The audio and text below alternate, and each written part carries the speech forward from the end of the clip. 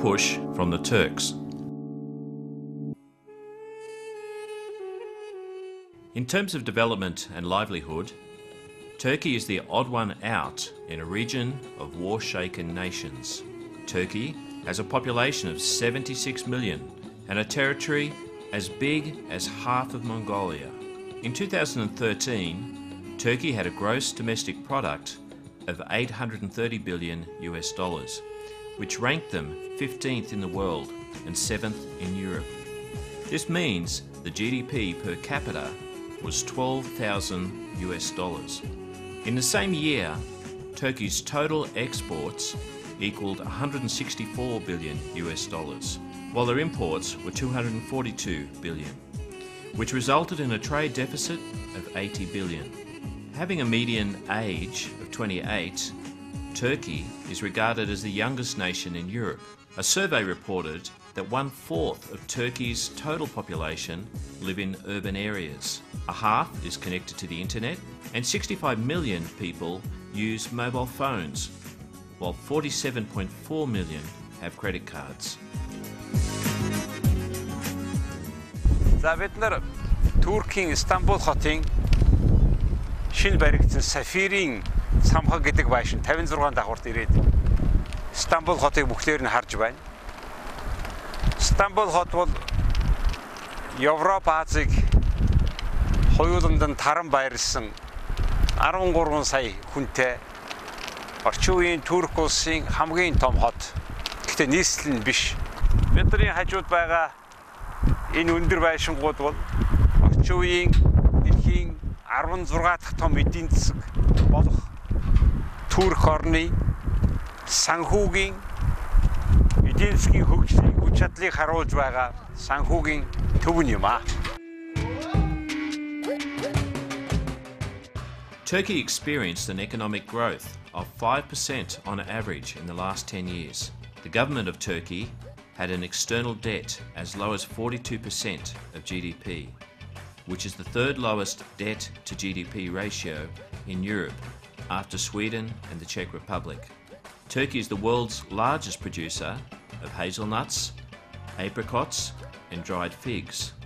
Also, Turkey is the second largest producer of float glass, the fifth largest in gold and silver products, and the eighth largest in shipbuilding. Furthermore, Turkey comes in third on TV exports and leads Europe through cement exports as well as production of textile and fertilisers. It is also the third biggest steel producer in Europe. Turkey is also listed as one of the top 10 tourist destinations in the world and welcomed a total of 36 million tourists in 2013.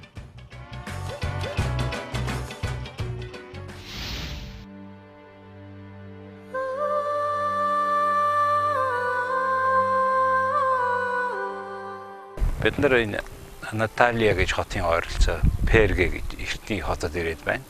Энд манай эртний өмнөх 300 жилээс хойш ийм хотууд ер нь энэ энэ бол хуучин дээр үед бол Грекийн нутаг. Энд ийм Грекийн импери энийг байгуулсан. Одоо та бүхний харж байгаа бол хотын баячууд нь удирдлага нь амьдардаг ийм хот. Бүгдээрээ ийм өндөр багнаар хийцэн тултсан өндөр байшингууд байсан юм байна. Ийм хот одоо Түрк даяар нэлээд хэдэн 100 байна гэж байгаа. Ингээ үлдсэн.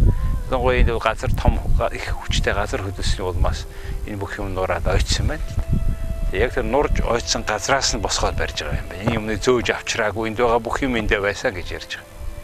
Тэгэхээр энэ Туркийн боломж аялал жуулчлалыг хөгжүүлэх боломж их өндөр байгаа юм байна. Сэргээж байгаа юм байна. Хүнийг хотын л одоо энэ Анталиагийн хот. Анталиа гэж хотод ер нь бол жилд 10 сая хүмүүс ирж байгаа юм байна. Амрах гэж. Тэрний 3.3 3-ны нэг нь Оросууд, 3-ны нэг нь Германууд үлдсэн бус үндэстэнүүд байдаг. Аялал жуулчлалаар одоо сүүлийн 20 жилийн дотор маш их орлоготой эдийн нь хөгжсөн ийм газар мэд ирээд байгаа маа.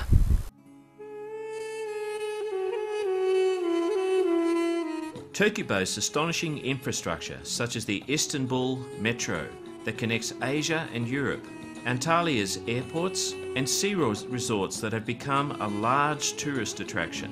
highways connecting Ankara with other cities, a vast network of electric power distribution, and their impressive waste management system. Turkey's construction and engineering companies have been taking part in building many cities worldwide and are implementing almost all of the large scale construction projects in the Near East and Africa.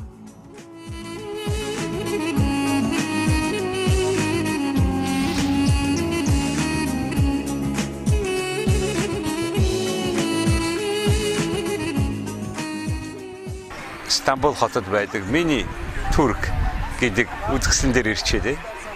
Энэ Турк улсын түүхэн хамгийн гоё байгалийн үзэсгэлэнт газруудаар түүнийг олон дахин багасгаж энд ихэнхдээ улс орныхоо түүх дурсгалын газруудыг мэдэх судлах тийм зорилгоор сургуулийн хүүхдүүд ирж тэр газар яагаад байгуулагдсан ямар учиртай юун тухай өгүүлдгийг түүхийн ямар хэсэгтэй холбоотой гэдгийг харуулахаар зориулж энэ хотын захиргаа ийм тустай ийм газар хуваарлаад ингэж хийсэн байдаг. Үзгсэн болгоны хажууд та очоод өөрийнхөө хүссэн хэл дээр ерөнхий тайлбарыг сонсож болох юм аа.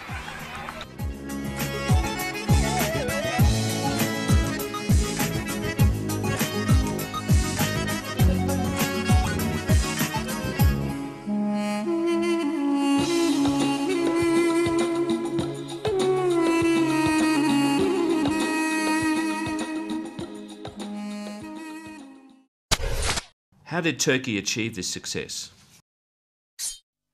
Let us have a closer look at the main factors of Turkey's rapid socio-economic growth, which is also known as Ankara's economic miracle.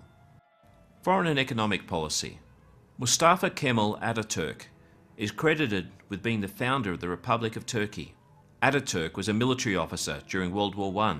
Following the defeat of the Ottoman Empire in World War I, he led the Turkish national movement in the Turkish War of Independence.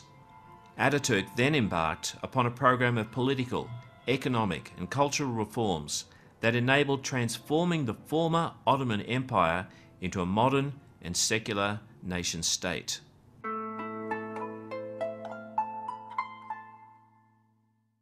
Turgut Özal, who received education in the United States, was Prime Minister of Turkey and later became President of Turkey. In the 1980s, he developed and started a policy aimed at economic liberalisation, privatisation of state enterprises, free competition in the market, international competitiveness, and investment in education. This policy, commenced by Özal, was reinforced by Turkey's current president, Recep Erdogan, who served as Prime Minister from 2003 up to September 2014 after a short term crisis in domestic politics as well as the banking sector. President Erdogan, who is also the chairman of the ruling Justice and Development Party, has carried out the gradual recovery of the banking sector and ensured regular investment in infrastructure, education, health, and technology.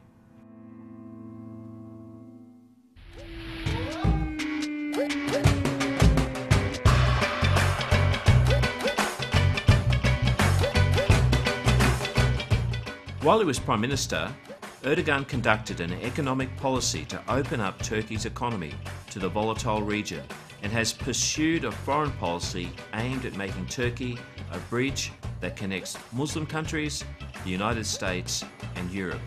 Furthermore, he encouraged domestic businesses to make investments abroad and supported them in acquiring soft loans. A total income of 47 billion US dollars was generated by the privatisation of state enterprises that were carried out from 2003 to 2010.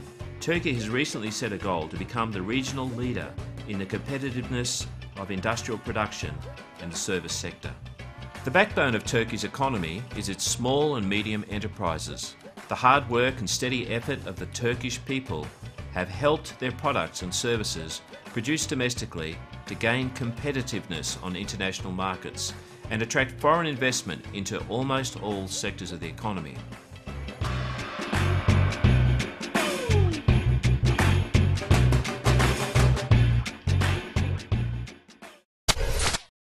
Education policy.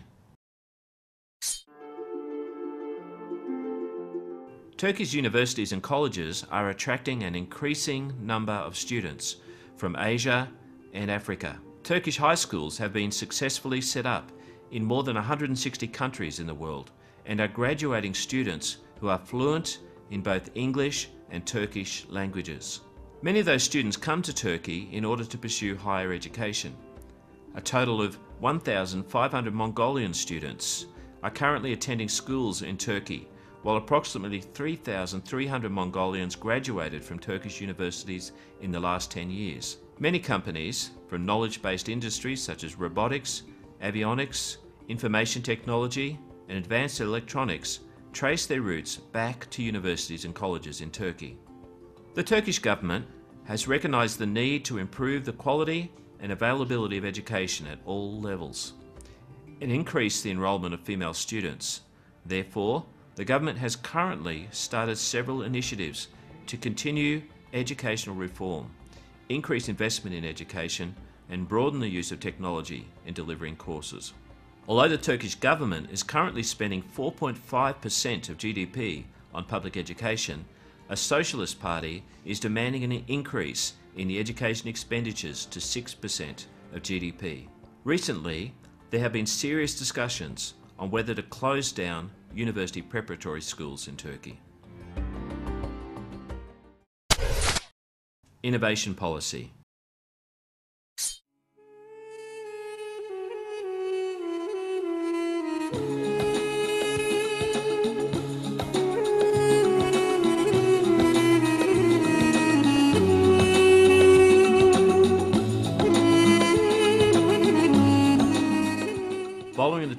Of Japan and South Korea, both of which are similar to Turkey in terms of lack of mineral wealth, Turkey has been pursuing a policy to make the best use of its geographical location, solar and wind power, and geothermal resources.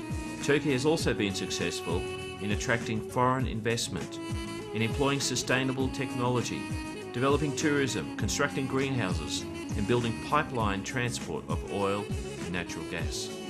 Turkey is building greenhouses throughout the country to grow all types of vegetables all year round and is preparing to break into not only regional but also global markets.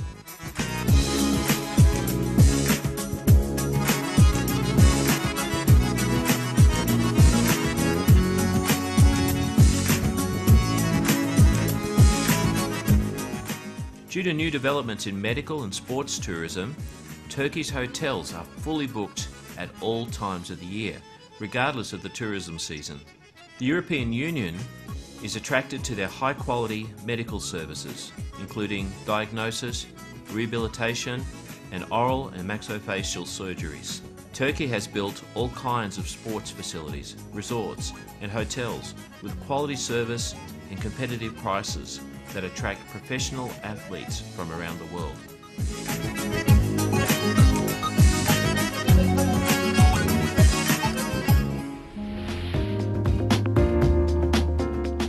After coming back to their home country, Turks, who used to live in other European countries, and especially the children, are contributing greatly to creating a knowledge economy by making an efficient use of their education, knowledge, and know how. The road ahead. Uncertainty is found both externally and internally that will affect Turkey's process of development. The regional instability, including the situations in the Eurozone, Near East, Syria, and Iran, will produce a significant impact on Turkey's tourism industry. Also, a minimal fluctuation in oil prices would affect Turkey's economy. However, Turkey has already acquired the skills and experience that will help them manage all those risks. There is still enormous media attention on Turkey's political party, that has had the ruling power for 10 years and led the country to rapid development. Enon Recep Erdogan, their chairman and newly elected president of the country. When he was prime minister, four ministers of his cabinet resigned after being accused of corruption early in 2014. There was also a widespread accusation on social media that Prime Minister Erdogan had overexerted his power. Twitter and YouTube were banned in Turkey for several months, which has been strongly opposed by the people especially the younger generation. In August, Turkey had its first ever presidential election to elect a president through direct popular vote, and Prime Minister Erdogan won the election. In any case, Turkey and its hard-working people have built strong foundations for flourishing development and are looking forward to the future with great faith. This year, 2014, is the 45th anniversary of the establishment of diplomatic relations between Mongolia and Turkey. The peoples of the two nations have been celebrating the event, and many delegates of the government and public organisations have mutually visited at all levels. Direct flights between Istanbul and Ulaanbaatar, opened recently, are creating foundations for great opportunities for further increasing trade, investment, and tourism between the two countries.